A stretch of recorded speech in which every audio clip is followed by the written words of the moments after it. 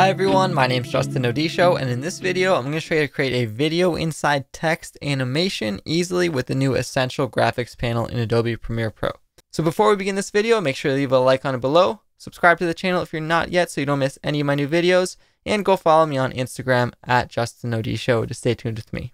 So this is what I'm working with on the timeline. I've got a couple clips laid out, but let's start from scratch.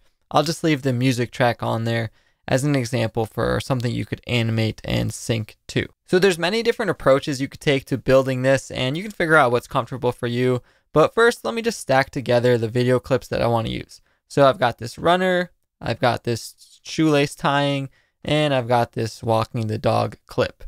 Now we want to create our text overlay on top. So I'm going to go to my toolbar and grab the text tool. This is new to the update in Premiere Pro. It's the Essential Graphics tool that I can just click and start creating text and graphics right on top of the program window.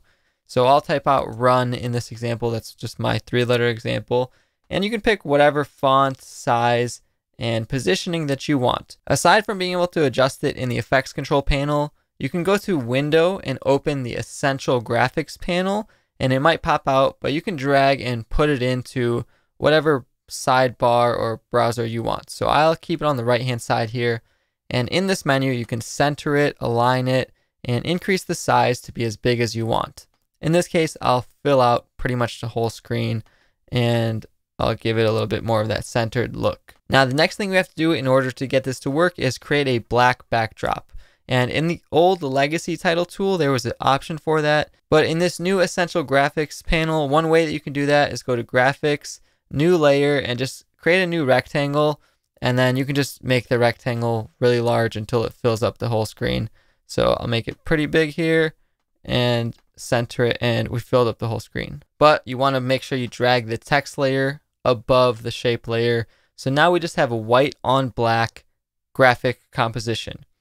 Now if I set this to multiply, so go to the blending modes in the effects control panel under the opacity tab and set it to multiply, what happens is black pretty much burns in and overpowers everything else. Black is just going to be black, and white basically disappears, revealing everything that's underneath. So this is kind of a workaround instead of actually having to key and mask things out. It gives you the same appearance and it's very simple to do. Now all we have left to do is mask out the text and later we can create some animation as well. So there's many ways you could approach this as well. You could highlight each layer. You could adjust the positioning if that works. So for example, for straight letters like N, I could just move the positioning over. However, we're not really capturing the interesting part of the clip in that case. So another thing you can do is move it to the interesting portion of the clip.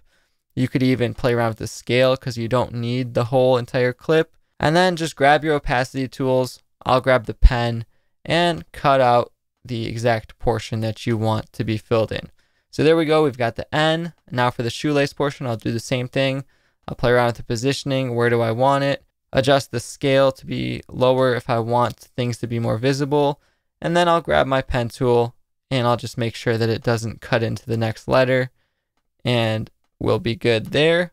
And then we don't even have to do anything on the last one if we don't want. Just because of the way that these layers are stacked on top of each other, it just kind of works. And you can see here, you could also just do this with one video. It would look cool as well. But now that I've got three different videos, now that I play, all of them are playing at the same time. It's got an interesting message and playback.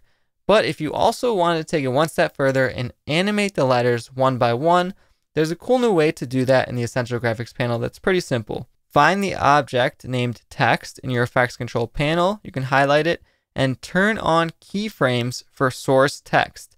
This will allow you to animate with keyframes anytime you make a change in the text.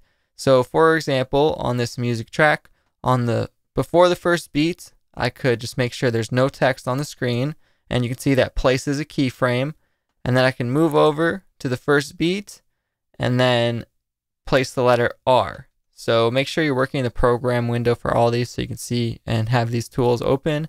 And then I could move over to the next beat. I could then add the next letter. And then finally on the last note switch where I want to sync it, I could add the final letter. So this will work to give you that typewriter one letter at a time effect because these keyframes can't really move in a linear way. It's just change by change. So when I play that back, you see we have the R and then it plays right to the U on that keyframe and then right to the N. And as long as you have enough video clip underneath, they'll all keep playing. And it's an interesting effect to play around with, and you can create lots of different projects with it play around with just one video or multiple videos inside each letter. But that's just one easy approach that you can take to create this multiple video inside text with the new Essential graphics in Adobe Premiere Pro. If you guys enjoyed this video, then make sure to leave a like on it below and subscribe to my channel so you don't miss any of my new future videos. You can follow me on Instagram at JustinOD if you want to stay tuned with me, live streams, behind the scenes, and more. And once again, thank you so much for watching, and I'll see you next time.